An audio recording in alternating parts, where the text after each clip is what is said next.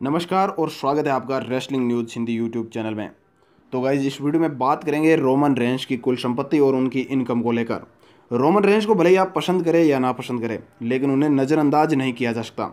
गुजरे सात सालों में रोमन रेंज डब्ल्यू के एक बहुत ही बड़ा नाम बन चुके हैं।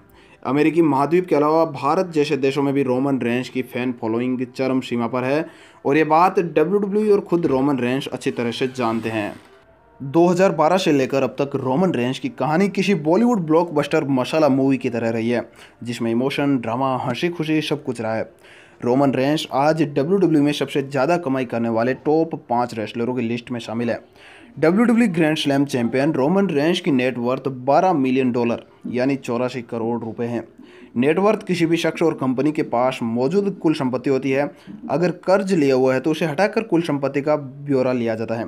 द रिचेस्ट के मुताबिक रोमन रेंज का डब्ल्यू के साथ सालाना पाँच मिलियन डॉलर का कॉन्ट्रैक्ट है। रोमन रेंज को साल 2013 के सालाना कॉन्ट्रैक्ट में करीब 16 लाख रुपए मिले, जिसके बाद 2014 में इस रकम को बढ़ाकर 22 लाख रुपए कर दिए। और साल 2015 में डब्ल्यू रोमन रेंज के गजब के काम को देखते हुए उनके सालाना कॉन्ट्रैक्ट को 22 लाख से सीधे 7 करोड़ कर दिया। और साल 2016 में इन्हें सालाना कॉन्ट्रैक्ट के 14 करोड़ रुपए दिए, जो 2015 में मिली सैलरी की डबल थी। और जिसके बाद साल 2017 में 15 करोड़ रुपए दिए गए, लेकिन 2018 में सबको चौंकाते हुए रोमन रेंज की सैलरी डबल कर दी गई और उन्हें सालाना कॉन्ट्रैक्ट के 30 करोड़ रुपए दिए गए। और अब 2019 में उनका सालाना कॉन्ट्रैक्ट पाँच मिलियन डॉलर, यानी 35 करोड़ रुपए का कर दिया गया है।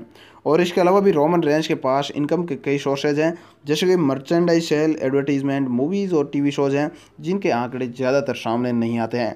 तो गईज़ आपके क्या ओपिनियन कमेंट बॉक्स में ज़रूर शेयर कीजिएगा। अगर आपको यह वीडियो पसंद आई तो इसे लाइक और शेयर कर दीजिएगा। साथ ही हमारे चैनल को सब्सक्राइब कीजिए और प्रेस कीजिए बेल आइकन को। फ्यूचर नोटिफिकेशन के लिए धन्यवाद।